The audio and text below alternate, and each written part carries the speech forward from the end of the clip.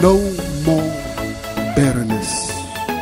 I declare and decree by the power of God in the name of Jesus no more miscarriages, no more sickness, no more diseases, no more pain, no more stress, no more hurts, no more. He will bless the fruit on your land, the ground, the cattle.